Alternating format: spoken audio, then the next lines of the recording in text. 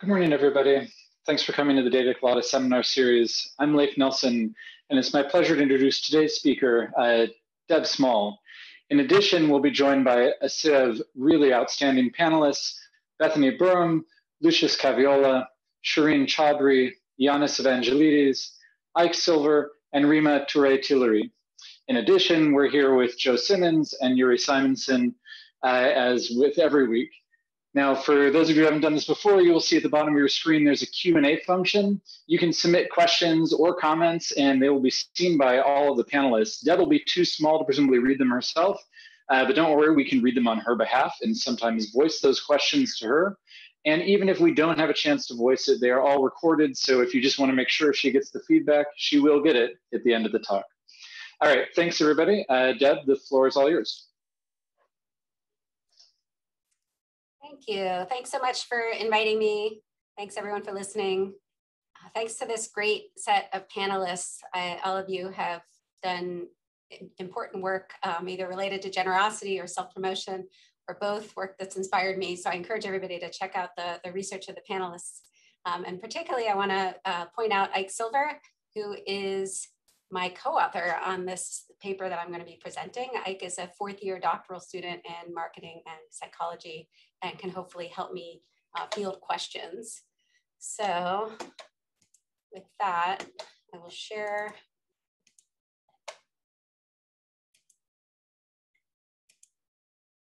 Great, can you see? Excellent. Okay, so the title is Put Your Mouth Where Your Money Is, a field experiment nudging consumers to publicize their donations to charity.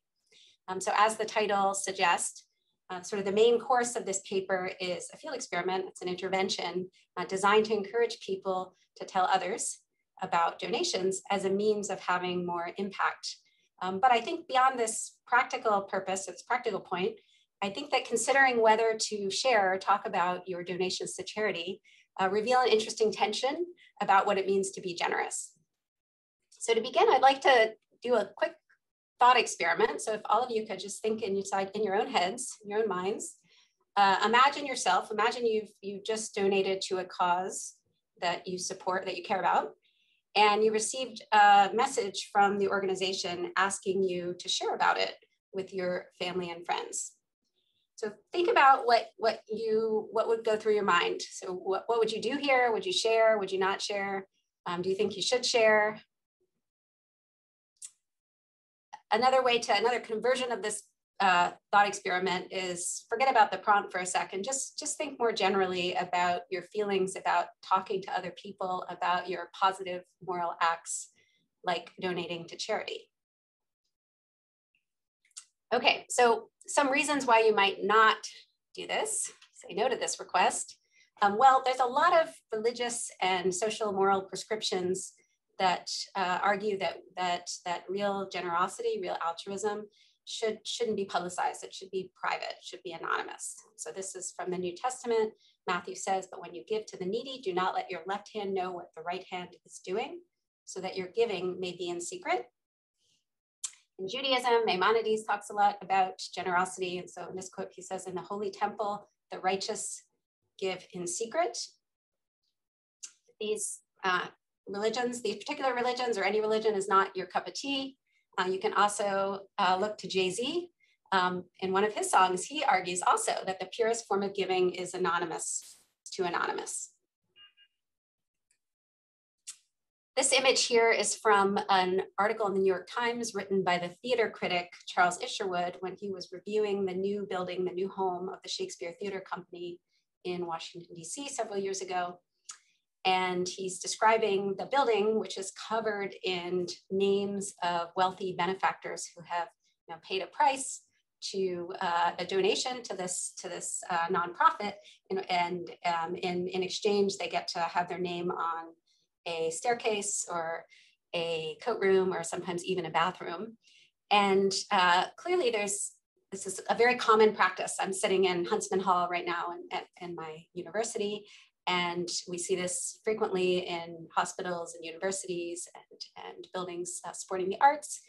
Um, there's a, certainly a lot of demand. Uh, people are willing to pay for this, um, but it's also, you know, as, as Isherwood in this, in this uh, article uh, laments. It's, it's, it's, kind of seems kind of tacky and and um, uh, disingenuous um, to be kind of posting your name like this or publicizing your your good deeds. Um, so why all this criticism? Well, at first blush, it might seem like impression management concerns would push us to want to share about our good deeds because being perceived as generous is generally a good thing, right? It's valued in our uh, society, um, but it's, it's, it's more nuanced than that. And that's because people care not just about others' actions when they're make, forming impressions, um, but they also care about the motives behind those actions. And for altruism or generosity in particular, um, people tend to really disprove of altruism motivated by self-interest. Um, so that kind of the whole idea of generosity or altruism is that it is about self-sacrifice. It, it is selfless, right? And so if a person is motivated or, or uh, by self-interest or benefits in some way, um, that sort of taints or um, or, or, you know makes renders that that act less good. So people tend to be quite cynical about self-interested motives in this in this context. And publicizing your generosity is one way in which that, that kind of comes through, right? It makes your motive seem insincere. It makes it seem like you're trying to get credit. That's, that's your motive as opposed to um, that you genuinely care about something. And in a, a, paper I wrote with Jonathan Berman, Emma Levine, and Alex Barasch, we, we um, termed this, the, we call this the braggart's dilemma, um, which is the, this, this uh, this kind of tension uh, between or this dilemma that people experience about you know whether it's good or not to, not good to share about their their uh, generous actions.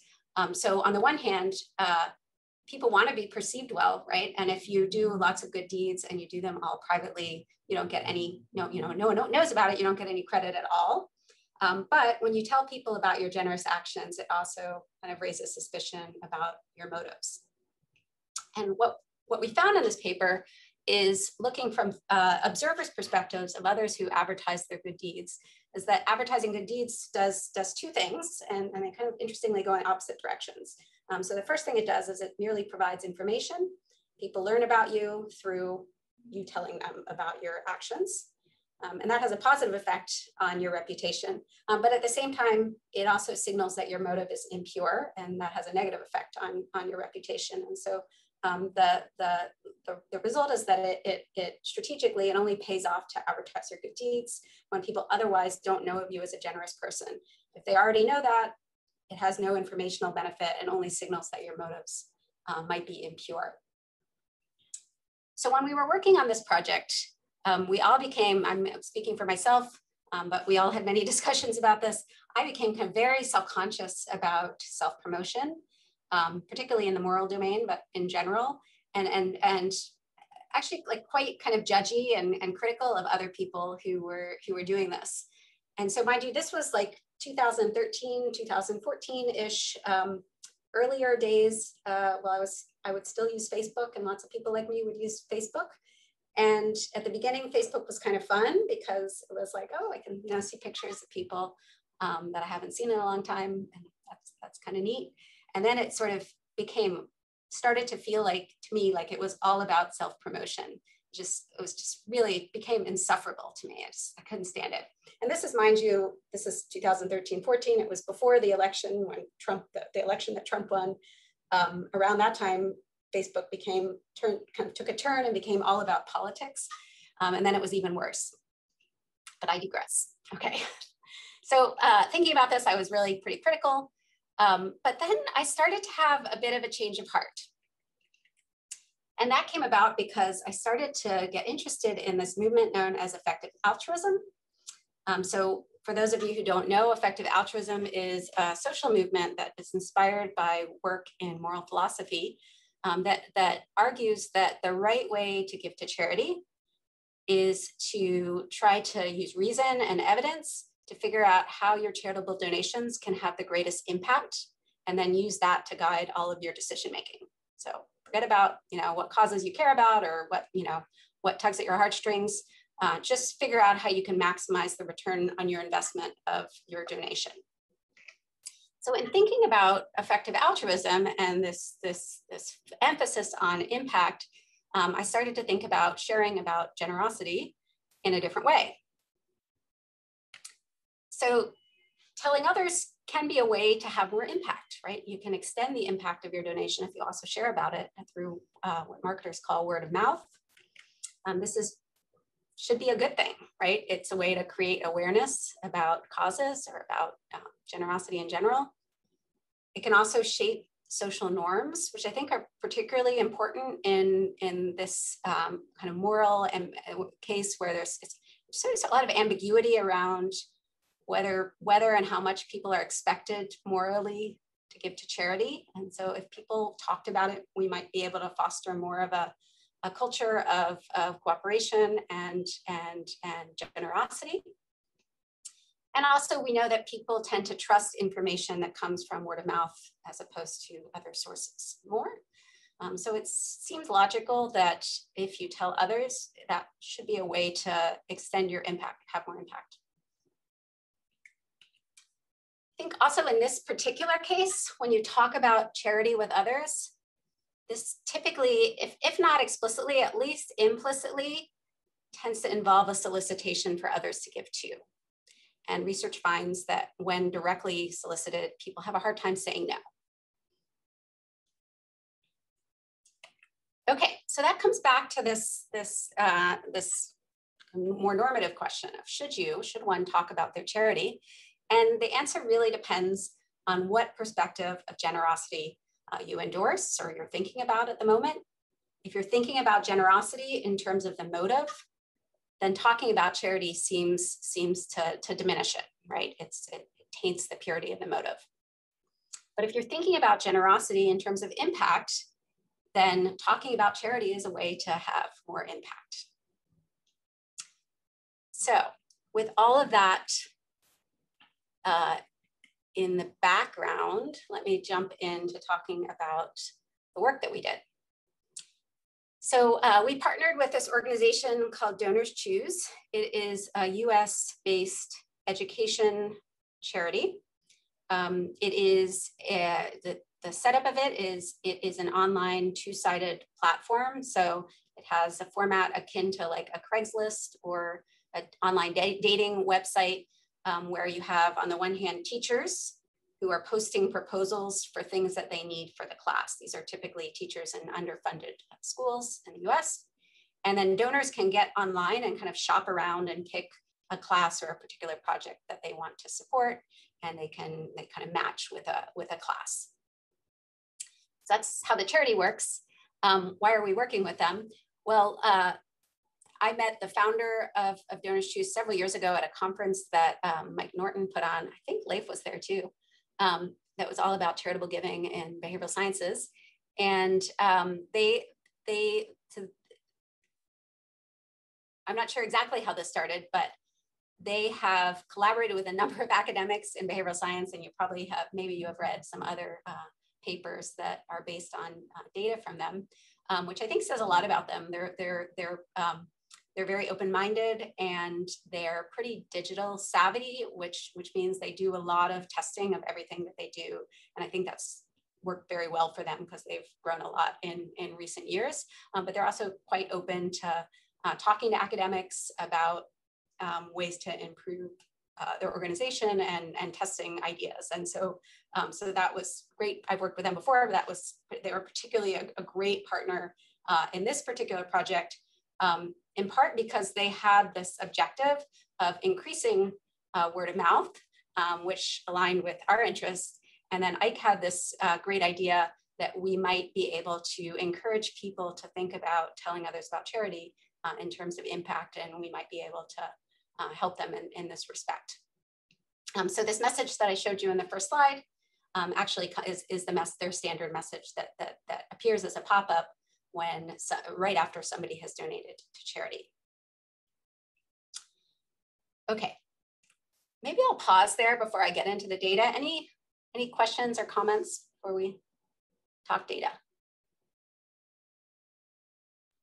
Well, I had a question that was similar to one that uh, somebody asked in the chat as well, and you might be getting to this, but I could imagine that your manipulation that you're that I think you're going to use of giving people the reason that sharing helps the cause also provides a non-selfish explanation for sharing. So it kind of helps with the pure motive problem. Um, so I'm curious if you, like, as you go along, if you think this is one of the key reasons that you might see an effect, and if so, kind of how one could amplify this, maybe by making it clear when you share it that that was your motive for sharing it, or something like that. So this might be a question to also get into later, but uh, but it raised raised in the chat, so I thought I'd bring it up now. Yeah, great. Um, yeah, so I will. So um, in our data, I, I think that is that's a very good point, and it's something something we have we have thought about. Um, we cannot, in our data, unfortunately, we can't tease apart whether it shifts people's views about their motive or whether it just kind of points out to them that uh, gives them a good reason to share that maybe compensates for any uh, concern they have about their motive. Right. Um, but I will come back to this at the very end when I discuss um, kind of future directions. Great. Thanks so much, Deb. All right let me tell you a little bit about some of the things that we did before our field experiment. So before we kind of, we knew we only probably had one, one big chance with a large sample. And so we wanted to test some of our assumptions uh, going in. And so the first thing we wanted to explore was whether indeed people are kind of uncomfortable with talking about uh, charity. Um, anecdotally, we hear from Donors Choose that uh, when they talk to their donors and just like qualitative uh, research, market research they do, um, that, that their donors tend to prefer being more private and that sharing rates are low. And so we had a hunch that that was because uh, people feel uncomfortable, it seems inauthentic or, or um, braggadocious to, to share about it. Um, so what we did initially is just a quick survey on MTurk in which we uh, listed a lot of different common purchases, 21 different purchases, um, and we asked uh, those participants to rate on a one to seven scale how uncomfortable they would feel talking about that with peers, friends, and family. Um, so here's just some pictures of, of uh, kinds of products that purchases that we asked about. Um, most of these are, are, are, we picked because we figured most people had experience with them. Um, so there's a variety of food things, furniture, um, show tickets, things like that. And one of the 21 was a donation to charity. Okay. So that's all we asked, just how uncomfortable would you feel uh, sharing this? And sure enough, um, the donation to charity is among the, the, the, the, items that people feel the most uncomfortable uh, talking about, uh, right up there with a stock investment, which is another, I think, taboo subject to, to talk about. Um, note here, we didn't include anything that was like particularly deviant or embarrassing, right? Which I'm sure would have higher means uh, than this. Um, so our point isn't to say that this is like the most uncomfortable that people ever feel about sharing about anything. Um, but it's, it's, I think it's interesting because this is a positive thing. This isn't a deviant thing. And yet people um, really tend to not feel comfortable uh, talking about it. Um, they're concerned about the reputational consequences perhaps, or, um, or just maybe for themselves, they want to believe that their actions are, are pure and sincere, and, and uh, talking about it changes that. Uh, Deb, I have a quick question. Is it uh, is there heterogeneity in those responses? Like some people saying one and some people saying like a seven, so the mean kind of goes close to four. It's like kind of homogeneous how people respond. I don't remember. I do you have any insight about no, that off the top of your head? No, no. I was just uh, curious, like because the implications of these are different, right? So there are some people who really dislike doing it and some people who really uh, appreciate sharing. Yeah. Right? So there are definitely some people who think that bragging uh, about their charitable donations or broadcasting it might have positive imp- uh, might have a positive impact on their reputation, and you might expect that for those people, they would be less uncomfortable. So there is some heterogeneity, and it seems like that heterogeneity probably depends on what kinds of predictions you're making about how others will respond. Um, Deb will have more data on that particular question, how people respond on average in the next experiment. Yeah, yeah, Good. Yes, I'll come to this, come back to this in just a second, although I, I don't, I don't have, we don't have all the answers yet on that. One, one quick question. It's interesting that the responses for the donation stock investment are almost the same. Um, do, you, do you have any explanation for that? Uh, no, I don't. I mean, I, I, I, think it makes sense that they're more, uh, they're, it's more uncomfortable to talk about those than the others. Um, but uh, I think yeah, they're both taboo, perhaps for different reasons.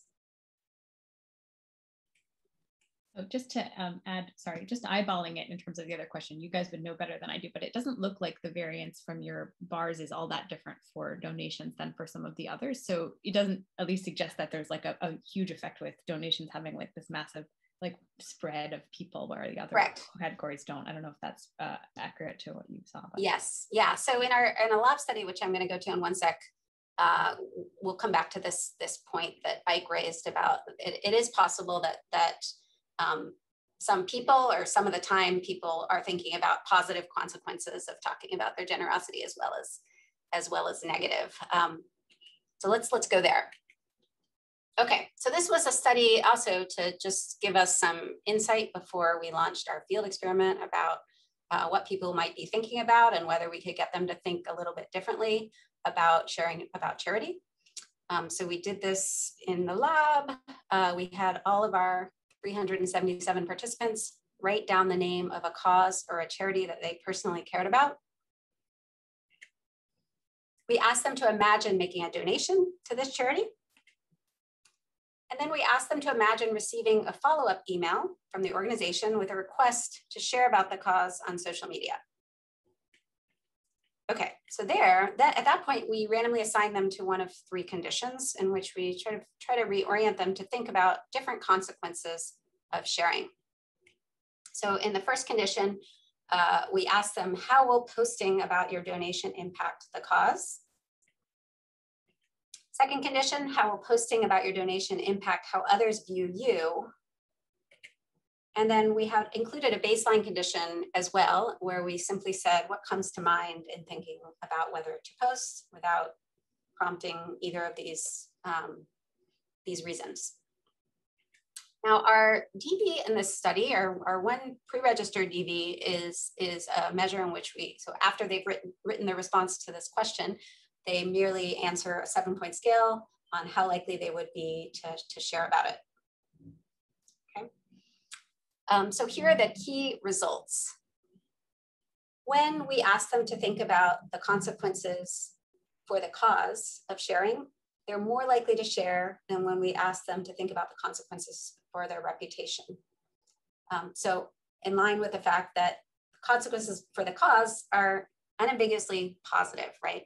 Um, in terms of reputation, I've been focused on the negative ones, but as we, we discussed, it's possible there are also some positive ones, but on average, um, people are less likely to share when they think about their reputation than when they think about uh, the cause.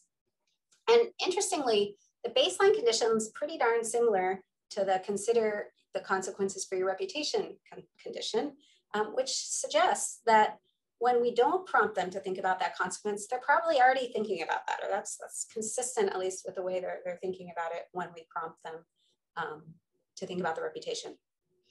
Um, now this uh, was not, this is more exploratory. We didn't pre-register this and we're, we're actually doing a lot more coding of their responses right now, but I don't have that data yet. Um, but we did a little bit of preliminary peeking and at the um, at what people said in the baseline condition without such a prompt. Um, so here are some cherry picked quotes um, that I think are, are informative. Um, so one person said, it seems self-serving when the act of donating is supposed to be selfless in order to be good. I feel like it is not something to openly brag about. You should just do it, do good in silence. It's a bit preachy, like, look how great and charitable I am, puts a bad taste in my mouth. And my favorite is somebody actually wrote, I never post just to flex my ethics. Um, so those are just a couple of them, but we did look at, uh, we had kind of did a very rough coding of how many of them, these responses were focused on um, consequences uh, for, for, or not just consequences, but anything relating to the, the actor, right?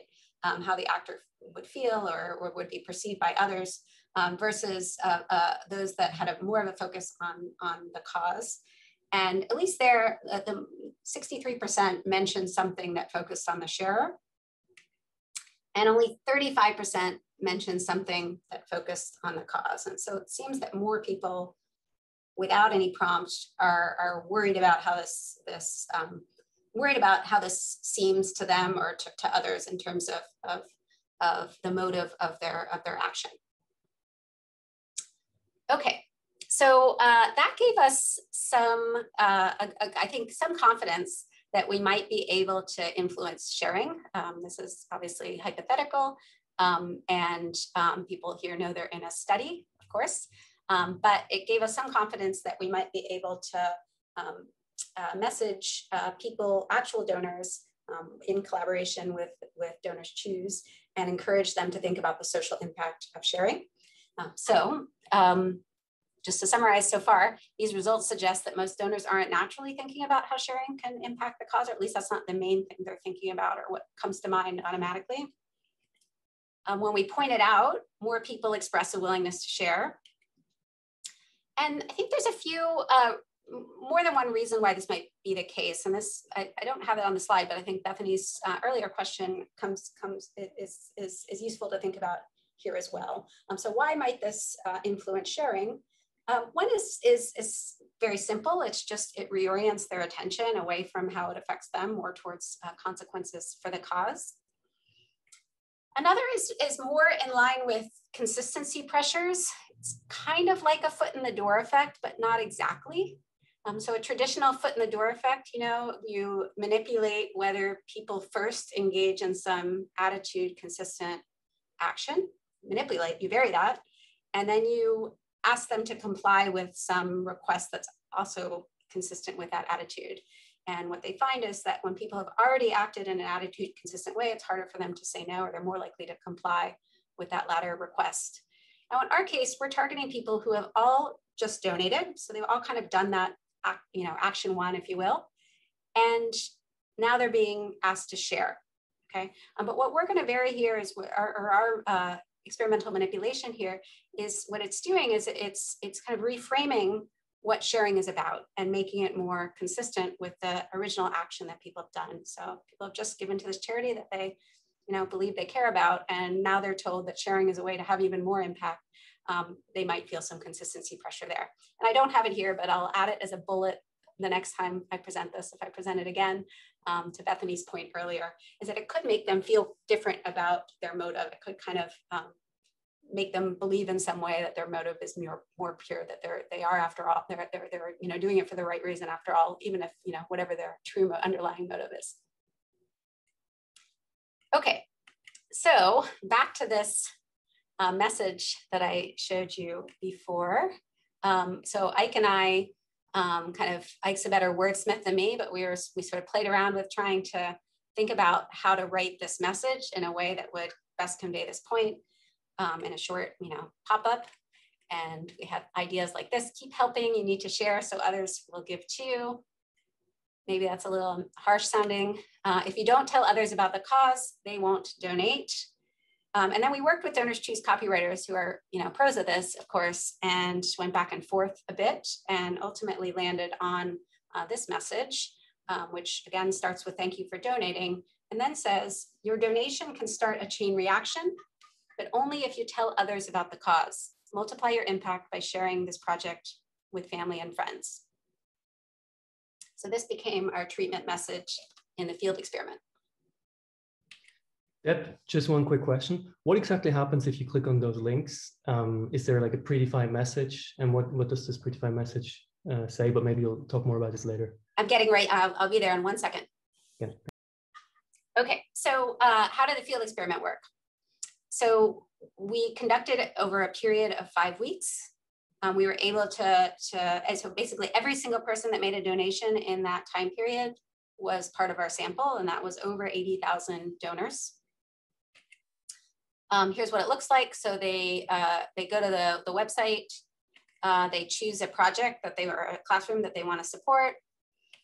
They pay with their credit card. At that point, the donation is complete and, and they're randomly assigned to one of our two treatment conditions here. Um, so the control condition is the standard message that donors choose had been using previously. It just thanks them like this. And the treatment message is the one I just presented to you that talks about, that emphasizes that sharing is a way to have more impact. Okay, so we had two pre-registered dependent measures in the study. The first one is simply click through. Do they click on any of these links? Okay, um, that's our, you know, that's what we're expecting to influence by this manipulation. people's willingness to share. So click-through is sharing. We also, one neat cool thing about this data is that if a donor clicks on the link, they get a unique shareable link, right? Which enables us to track the impact of sharing. So whether a particular person shares, we can then trace subsequent donations back to that donor. Okay. Um, so our second DV we call recruitment.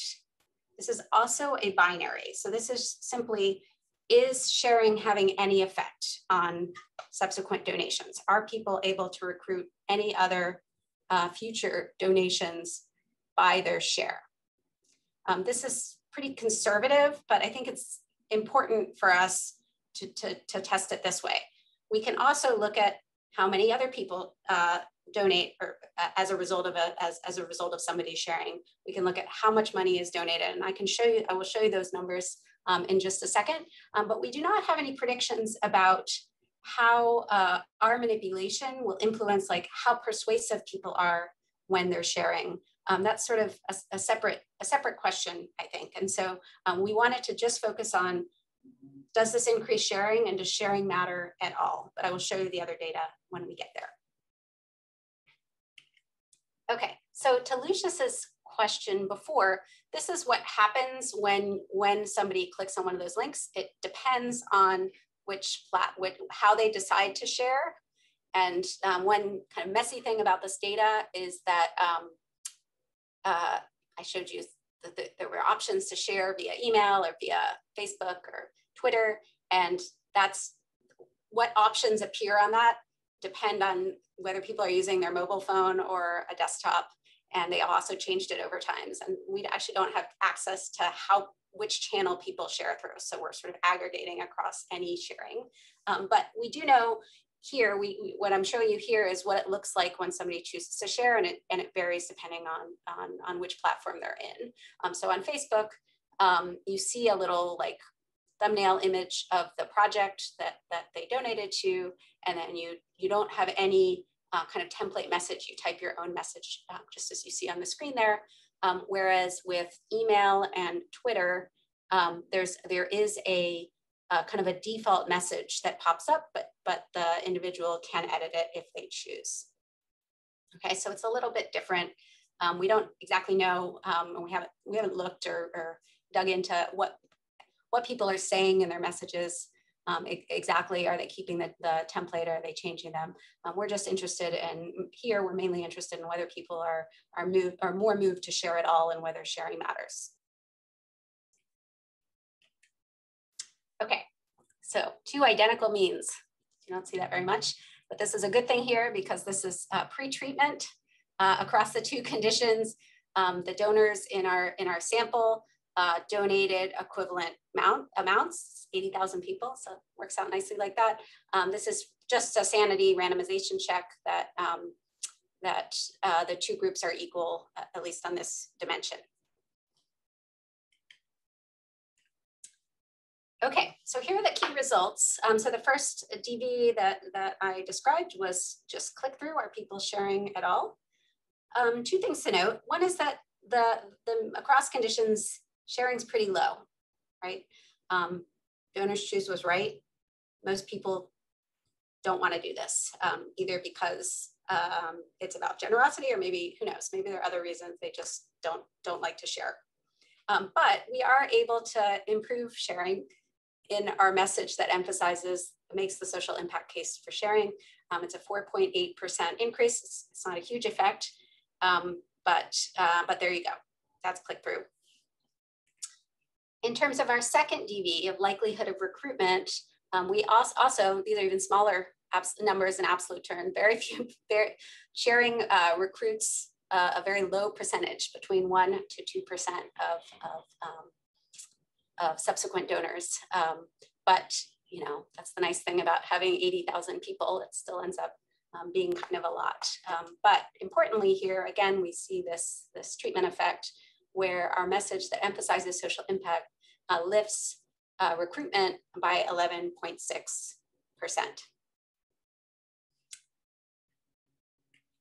Okay. Um, so this is just mean donations recruited via word of mouth. Um, these numbers also look pretty low. It's because the large, large majority of them are zeros in this data set because most people aren't, aren't donating uh, from this message. But um, nonetheless, it's uh, a 15.2% increase um, using our social impact message. And I correct me if I'm wrong, but doing some rough like back of the envelope calculation um, on expected number of people if this was uh, to be this messaging was used and, and uh, throughout the year at, uh, at, at, this organization is that it would increase revenue by about $170,000. Uh, um, so, you know, it's, it's not millions, but it's a decent chunk and uh, it's just by changing some words in, in the sharing prompt. Um, so they were quite, quite happy with this, being able to make this change. Okay, so those other numbers that I promised I would share you. So what happens, so, so sort of how, how persuasive are these, are these uh, messages? Um, it doesn't seem to matter across, it's sort of no more persuasive in our, in our emphasizing social impact uh, treatment condition. Um, most sharers are only able to recruit uh, one subsequent donation and the, the average amount of, of that donation is about $50. It doesn't depend on um, which, uh, which message they see, the basic thank you or the, the message that emphasizes uh, social impact. Um, and so, you know, one thing to note about that is that that means that the kind of the increase in revenue is is is 100% coming from um, just the greater propensity to share when people think about sharing as as a, uh, a means for impact. Have a quick question about that. Is it possible that there's some downside from sharing, regardless of whether you're doing it because of the impact or because you know um, because you want to share. So from the receiver's perspective, is there still a negative, potentially a negative perception of the sharer that's preventing them from, um, you know, from acting for the probably cause? yeah yeah i mean one way to think about yeah I, we don't we don't know from this data but I, I i assume so it kind of goes back to bethany's early question about do they feel less braggy about it when they're sharing or they perceived less negatively and, and um, in, in this case um, yeah my guess is my guess is they they might still take a, a, reputational hit. So so sort of like the price you you know if you're a real altruist like you should sacrifice your reputation a little bit for the for the greater good it's, is one way I, I wonder if there's something they can say in when they're sharing to to get to at least get people on the same page. I'm doing this for impact, or I'm doing this to help the cause. Yeah, yeah. So when I'll come back to this at the end, but we have thought a little bit about if there, are, you know, um, if there are there ways to uh, to to talk about to to brag um, in a way that that have less of a you have less of a kind of reputational uh, penalty. I just saw that Leslie John has a new article, like a review article on how to self-promote effectively, not not just about altruism, but more general generally speaking. And I think yeah, I think there's you know bragging is a bit there's a bit of an there's some science, but there's also a bit of an art to it. And so um, yes, it would be useful to think about how to get people to talk about their generosity in in a uh, in a way that um, doesn't have that cost, right? Maybe that would make them feel more comfortable and also would uh, you know inspire others to do it. That kind yeah, of relates have, to oh sorry oh, go ahead uh, sure. i was just gonna ha- i have a question that sort of builds off that as i was thinking like i wonder if how people perceive the um, sharer moderates the impact of the sharing. So if people perceive that you have impure motives maybe they're like disgusted by it and they're just not gonna look at that charity at all. But if they think that you have pure motives you know they're sort of less distracted by that Right. Yeah. No, I think that intuitively makes sense. That uh, I, I personally, I think I would be more inspired to mimic somebody that I thought was genuine in their actions than I thought was disingenuous in their actions. Right. Um, yeah, it's, it's not something we can tease out here. And in, I think probably in many of the cases, people are just sending these like standard messages and we don't know the relationships that they have with other people. Part of this, I think, also depends on in, in, in many settings depends on the relationships between people who are talking who's talking to who, right? So when you know, like, I know you, Shereen, if you told me something, um, I, I had this like background knowledge about you that is going to make me make it hard for me to uh, to to see it in a negative light. Um, but uh, you know, for other people, I might I might view that what they say the same the same words in a bit more cynical in a more cynical light.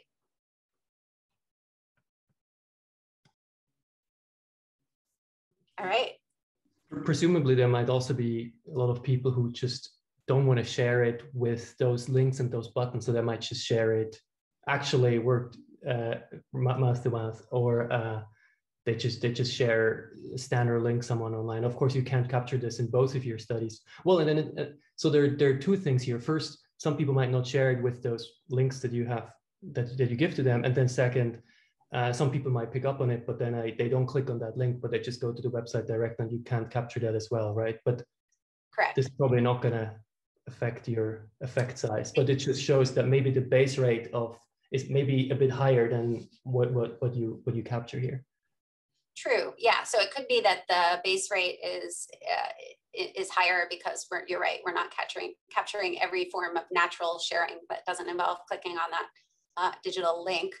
Um, but uh, in terms of the effect size, I think that only suggests that our effect size is, is more conservative because it's not it's not tapping all of that. Um, which kind of I think relates to this slide, which is that yes, we cannot in the field in particular we can't um, measure and everything, and so I'll just offer some very speculative, unmeasured benefits of increase increasing sharing beyond what we can see in the data, and in line with um, Lucia's point. Um, so one is that organizations yes, they want money and they want it now, but they also have uh, objectives of just growing their donor base. That's good for them in the long run. It's more people they can market to and more revenue they can continue to generate. And so this by increasing sharing, we're we're um, kind of increasing their their potentially increasing their donor base. We see, I guess we see a little bit of that. Uh, we just don't know the I, we don't know the long term consequences of that, but we can speculate that they're positive for the organization.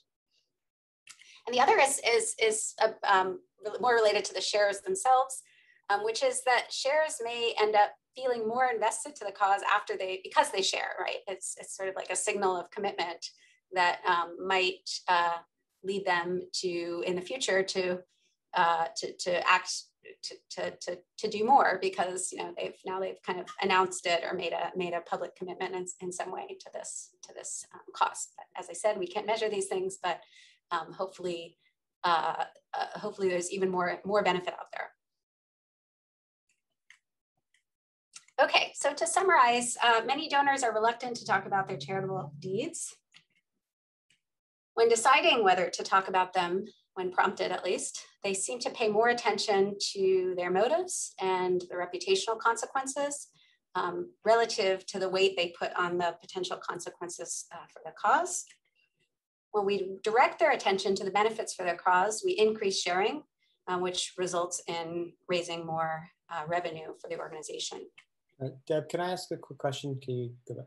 So just on the second point, I mean, this was raised a little bit in the in the Q&A, mostly by uh, Shoshana Siegel or Segal. Sorry, I don't know how to pronounce your last name, but it's about basically is how generalizable is point number two to say other kinds of donations that people give. Like you can imagine if if people are giving to Joe Biden in 2020, maybe they are really focused on the cause and they're not really focused on like any negative reputational consequences for sort of telling the world about that kind of donation. So do you, do you have a sense for like when this is going to be like, like, like basically when when this may not be the case like when when people actually might be might have the cause as being sort of more salient than the reputation yeah great um, I, I yeah, I thought some about this, and I, I feel free to jump in as well. I think in the uh, political donations and also just other pro some uh, certain other pro-social behaviors like voting, for instance, um, there's less of this notion that uh, this is like this great, greatly sacrificial act like charity is, and so there's there seems to be less my, this is my impression i haven't measured this but there seems to be less of a concern about signaling selfish motives. And so, so that's that's kind of different from your point. Your point is like maybe it, but maybe they're related. Maybe because of that they're focused more on um, more on on the impact. Um, I also think another difference is in that case is that that's something that people talk a lot about, right? Um, during elections. And so that might, it, it, may have, it's possible that it's just become kind of more normalized to have those sorts of uh, conversations um, than it is for the case of charity. Uh, I, those are just my speculative thoughts. I do you have anything to add there? Yeah, I think I agree with most of what you said. Um, at least anecdotally, though, it does seem like when people are accused of sort of virtue signaling or like empty, uh, empty words, empty gestures, it's often in the domain of uh, of politics. So, like if you, you know, follow the discourse on Twitter, people who get accused of virtue signaling are often talking about some political issue uh, as opposed to talking about charitable donations per se. Now, obviously, that's just sort of anecdotal observation, um, but it does seem like that there at least are these kinds of reputational risks, i.e., being thought of as posting for the wrong reasons or talking with the wrong motives uh, in the domain of politics. So, so that aspect of it seems like it might be generalizable. Um, yeah. Yeah, yeah. So around certain political issues, like when everybody is is posting about Black Lives Matter, especially when you've seen it like a thousand times, it starts to seem sort of insincere and virtue signaling ish, um, uh, as opposed to I think what Joe brought up, which is like a supporting uh, particularly like a presidential race, which tends to attract a huge amount of attention and there's a strong social norm, at least in our social world of being involved and, and engaged. Yeah, so it'd be interesting to think more about, you know, different different domains and where what yeah what the boundary conditions are, I guess. Okay, so and this is I, I, kind of we kind of gone over this already, but this was I think Bethany's original um, question at the beginning of the talk, which is that uh, this it's, it's possible that this is this intervention isn't really doing anything for um, people's reputational concerns. They might still be worried. You know, one possibility is they're still worried about appearing uh, uh, braggadocious, or or and it might actually and that worry might be um, borne out, right?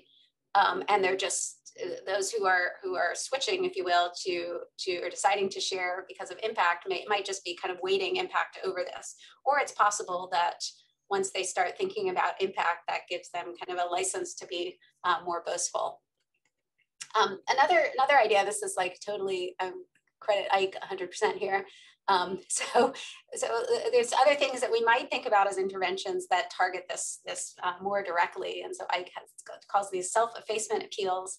And for example, um, things like uh, Movember, which is where you like grow really bad facial hair for a cause um, and then post about it a lot to, you know, to get attention.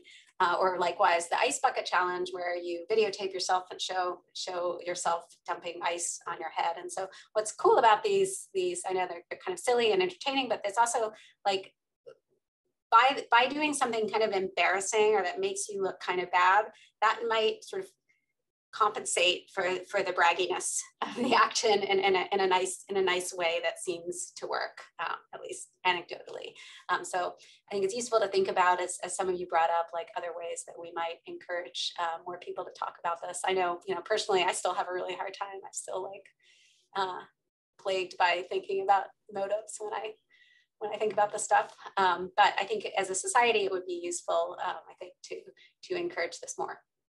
Um, Deb, uh, I like this a lot. And if, uh, one other suggestion I had is, is actually closer to what you already did, which is maybe you're about to get to this in terms of future directions, but it would be interesting if the message about cause carried forward in your share so that other people who saw your share also saw this idea that sharing helps the cause because i feel like that would address partly this motive concern or this um, bragging concern where other people who see my share now could perhaps assume that i'm sharing for this reason about the cause um, and that might help with the reputation. It would also have a second effect which it kind of like passes your manipulation on to whoever sees it next. So it actually would have that effect potentially too of, encouraging the next group of people to share.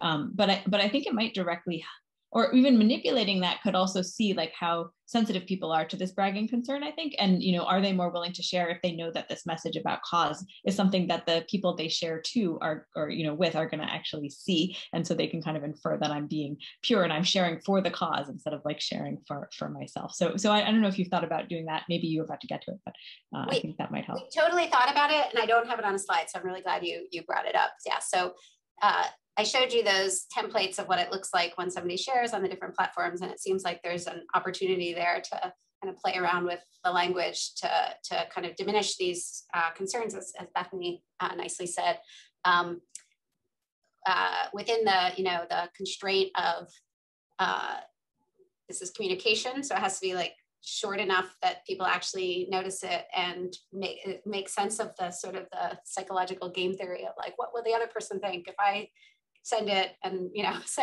um, I, I think it's a great a great idea I haven't we haven't quite figured out how to how to do that but um, I'd like to think more about it so One more quick thing on that, Deb. I'm not sure if you remember this, but when we first started working with Donors Choose, I spent a couple of weeks emailing back and forth with Stephen, asking about different aspects of their platform that we could manipulate. And one of the primary things we wanted to be able to do was see if we could uh, control the default message that they supplied people with, thinking that if you sort of help people craft messages that diminished bragging attributions and emphasize the cause, we might be able to get people to share more and recruit more. But they were sort of very protective of that aspect of their uh, of their platform. So we just started with the, the sharing ask. Maybe that's what, where to let us go next now that we've sort of demonstrated our worth.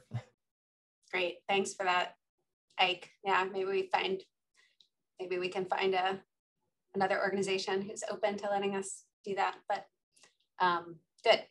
Okay, that is all I have. Thank you, uh, panelists. Thank you, uh, Leif, Joe, and Uri. And thanks for funding from the Wharton Social Impact Initiative and to Donors Choose. We're a great partner. Uh, any final questions or thoughts? I have just one more if no one else uh, is going. I need to take too much time. But um, one other thing that comes to mind in terms of why people wouldn't want to share is the, exactly kind of why it might work, which is that like when you share, you're kind of asking your friends to donate, and then maybe they feel pressure to donate, and that helps the cause, but maybe hurts your relationship with them. Obviously, not a huge amount, but like if you're constantly kind of putting pressure on people to give, they might not be so happy with that. And I don't know. That's kind of separate from the reputational issue that that we were talking about. I'm not totally sure how to address it but it just comes to mind as another barrier to to sharing um, you know why you give is that you don't want to kind of ask all your friends and family to give all the time. I don't know if you've thought about that and how one might kind of counteract that. Right yeah so we kind of wrap that into reputational concerns but i fully agree that it's it's different from appearing the, the, specific reputational concern of appearing like your generous action isn't really generous it's motivated by self-interest right.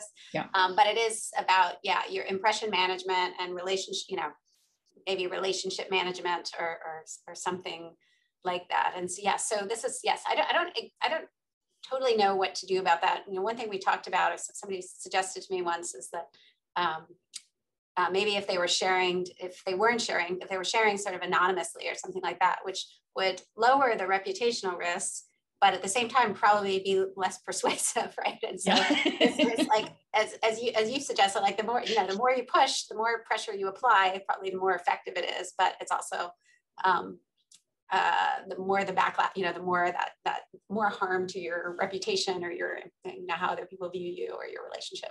Um, so that's like a kind of a balancing act um, that we haven't, yeah, we haven't fully realize. Ike, do you have any th other thoughts on that? No, I think you covered it. Um, I had uh, another thought about, you know, kind of when sharers are kind of choosing to share what's going through their mind.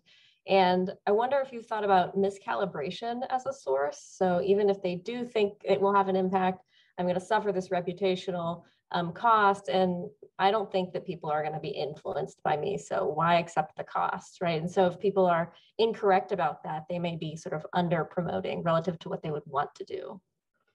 Right. Yeah. So. Yeah. Great. Yeah. So I think like perhaps our message is is is tipping them towards realizing that they might be more effective. I, it's, it's, it's totally, yeah, I think about like those people that uh, those people, um, the the philanthropists who pay to get their names on buildings and like are they doing are they calibrated? Like maybe maybe they their reputations are so self-interested that they really benefit by showing the world that they donated a lot of money right? Um, or maybe they're like wildly miscalibrated. Or possibly hear me out maybe they're purely altruistic and they're sacrificing their reputation to you know support the the arts or whatever it might be.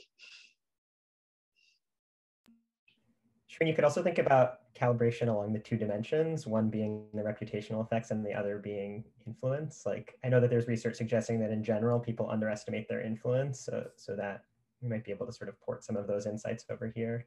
On the reputation side of things, one thing that Deb and I have talked about is it's not critical that people be right in order to experience this kind of apprehension. All they need to do is be sort of thinking about risk to their reputation, maybe among some observers uh, who might react really negatively, even if the overall impact might be positive. Um, but we don't know for sure if, the, if they're right about those expectations.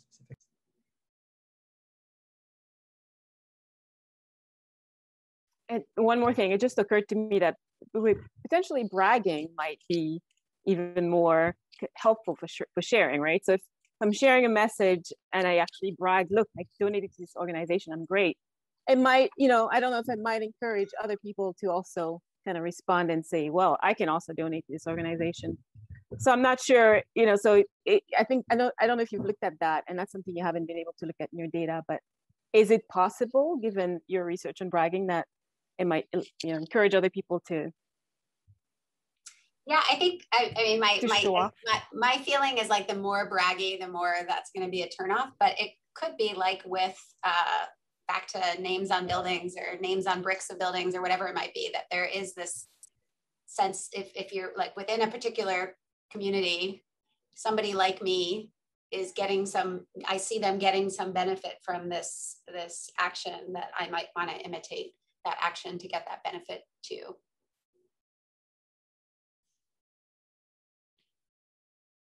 But my intuition is that it usually probably goes the other way, right? Like smells bad when it looks so egregiously self-interested.